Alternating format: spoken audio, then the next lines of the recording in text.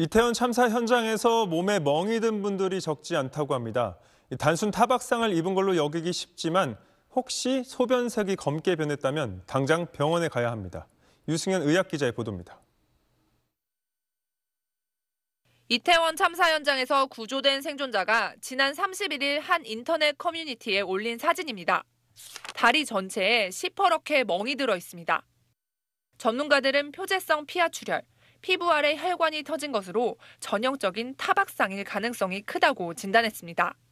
타박상과 증세는 비슷해 보이지만 팔과 다리의 근육 자체가 눌려 손상되는 압좌증후군은 심각한 결과를 가져올 수 있어서 주의가 필요합니다.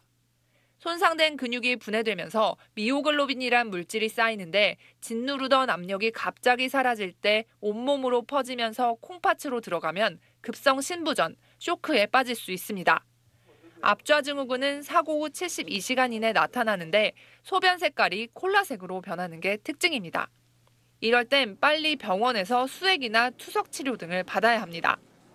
지난 2005년 경상북도 상주 공연장 사고 때 경증 부상자 중 104명을 분석한 결과 가슴, 어깨와 팔의 타박상, 허리 염좌 순으로 많았고 뇌진탕, 두통, 공황장애, 불안장애도 관찰됐습니다.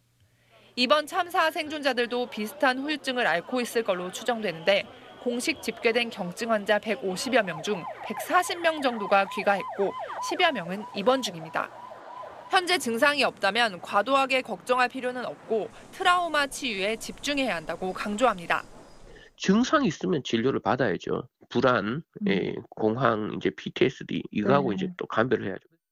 정부는 사고 현장에 있었다고 입증된 사람에겐 신체적 부상은 물론 트라우마 같은 정신적 후유증에도 우선 6개월간 치료비를 지원할 방침입니다.